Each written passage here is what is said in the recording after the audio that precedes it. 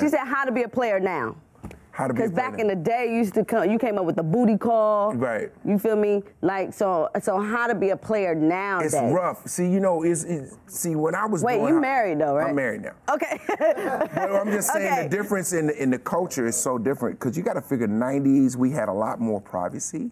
We didn't have pictures and videos and stuff. You could disappear in Right. the 90s. You That's- could lie. You could actually lie. I was not in Toledo. Yep. Now you like Period. you've been geotagged. You somebody took a picture of you in Whataburger. You know, like you just can't get around. like you can't even lie. You know, so that that part is different. And then also too, I think there's so much access.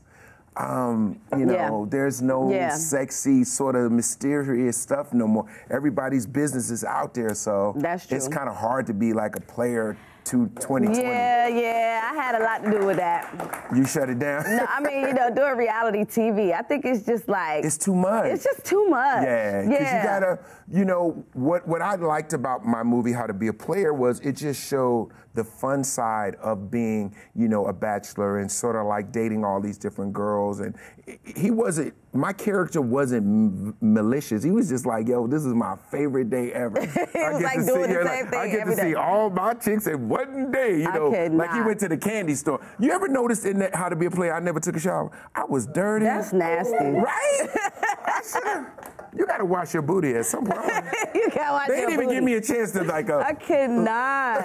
No, like right. chicks is coming was out just under moving. the bed, out of the closet. Yeah, like, it was you ridiculous. need to calm down. I, I need to relax. But you did. I did. I.